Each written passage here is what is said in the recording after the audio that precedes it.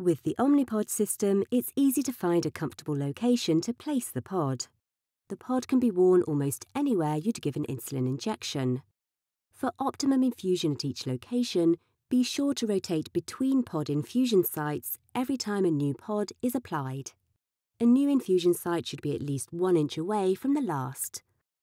Also avoid placement over a mole, tattoo or scar. When choosing a location, place the pod at least one inch away from waistbands for comfort. When placing the pod on the abdomen, make sure that it's at least two inches from the navel. When placing the pod on the arm or leg, position the pod vertically for comfort. The pod window may face up or down. When placing the pod on the back, abdomen or buttocks, position the pod horizontally or at a slight angle for comfort.